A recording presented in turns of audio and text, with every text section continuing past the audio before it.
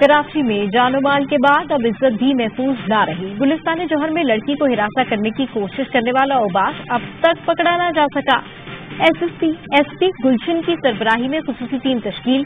Police का कहना है, मुतासर लड़की की शनाख्त कर दी गई है। लड़की के अहल खाना कानूनी कार्रवाई और ताउन के लिए राज़ी नहीं। गली के चौकीदार को भी शामिल तफ्तीश कर लिया। इंटेलिजेंस के ज़रिए मुलजिम की तलाश जारी है।